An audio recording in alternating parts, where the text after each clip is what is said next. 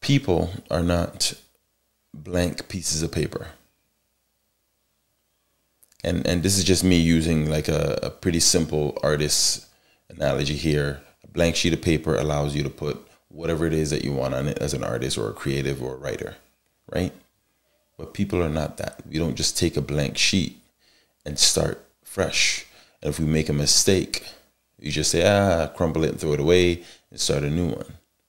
So people are not blank pieces of paper, right? And for the simple fact that our stories doesn't begin from the moment we are born. Our story began way before we were conceived. The two adults who decided to come together and make, you know, us exist. Guess what? They had a history before they came together. And that history is going to get traveled, it's going to get passed down to you through the genes and, and everything else. How, you know, your mother carried you. Was she a smoker? Was she a drinker? Was she an addict? Was she healthy? Was she not healthy? Did she already have health conditions? And those things get passed down.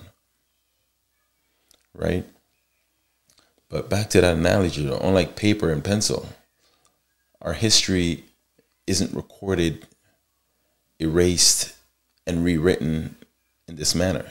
Like you don't just ah no, I don't like that line. Let me scratch it out and and put a new one on. That's not how we are, right? Because you you can't erase what you can't see, and that's the history before you came. You understand what I mean? Like this is the part of your story that is tucked deep, deep in the depths of a person's soul. It's the history you didn't personally experience, but it resonates with you every time it, it flares up or it pops up or someone triggers you that it reminds you of, of that history, right? For a lot of people of color, it's, you know, um, racism, uh, it's slavery, it's, it's how people were treated in, in refugee camps, is civil wars, is so many different things, right?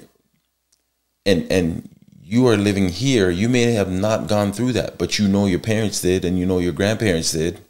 And so it resonates with you.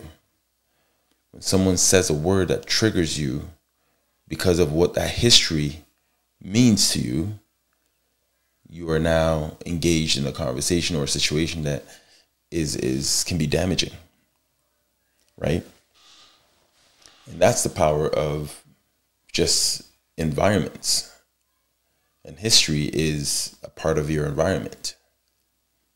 So these are traumas, right? Or successes or experiences of our ancestors that to this day a lot of us defend with our lives. But we can never articulate why we feel these feelings. You, you get what I'm saying? Like it's it's not even our feelings, but we are ready to die for them.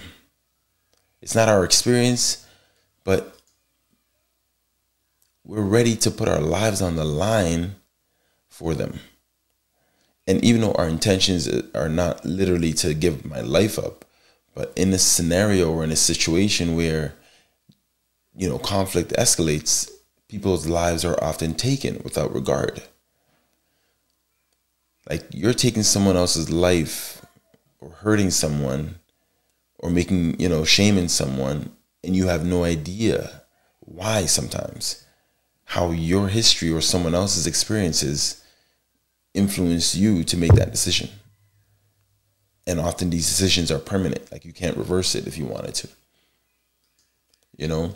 So I, I say these are traces of our ancestors' experiences, right?